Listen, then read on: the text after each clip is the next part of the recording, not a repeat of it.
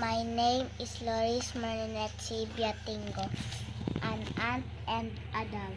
One hot day, an ant was searching for some water. Then, then she came to a spring to reach the spring. She had to climb up a blade of a grass.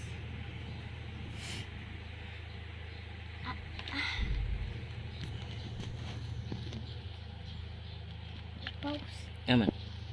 But she slipped and fell into the water. She could have drowned if a dove if a dove up nearby trees.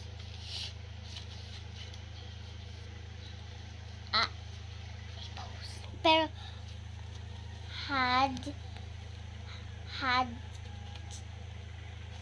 had